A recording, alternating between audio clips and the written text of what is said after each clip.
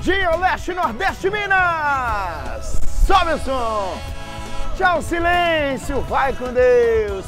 Tá chegando na hora boa, na hora sagrada, na hora do almoço, o balanço geral para se comunicar com você do Leste, com você do Nordeste. A partir de agora você já sabe, Jequitinhonha, Mucuri, Vale do Aço e Vale do Rio Doce é destaque aqui na telinha. O show de informação, notícia atualizada, entretenimento sim, na pegada do VG, com assinatura da pioneira, a TV Leste. Nós somos parte desse timaço da informação. Ó. O seu jornal na hora do almoço é o Balanço Geral. É o balanço geral transmitido e exibido pela TV Leste, segundo o editor Felipe Ribeiro. Pediu pra falar isso na abertura aqui, ó.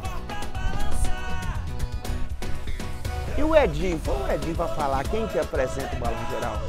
Com vocês, Nicomedes Felício. Eu estou aqui preparado e você aí, parceria que deu certo demais.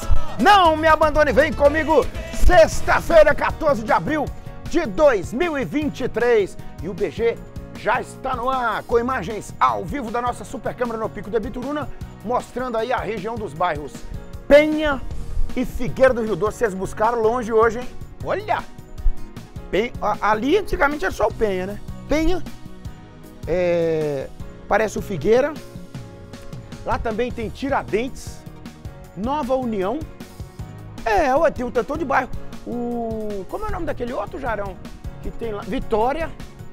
Olha o tantão de bairro que tem naquela região já. E lá na ponta da imagem está o Distrito Industrial, né? É. Antigamente, quando eu era mais novo, criaram o Distrito Industrial. Era tudo deserto até chegar lá. Agora já está a faixa toda ocupada de, de casas. Olha como a cidade vai crescendo. Graças a Deus, né? Viva a região toda aí, região do Penha, chamada assim. Tá achando o quê? Obrigado pela audiência, viu, minha gente? Um beijo pra vocês. Tem também imagens da câmera da TV Leste instalada no prédio da emissora, mostrando a região do bairro Vila Bretas. É, quando mostra assim, eu vou olhando as nuvens.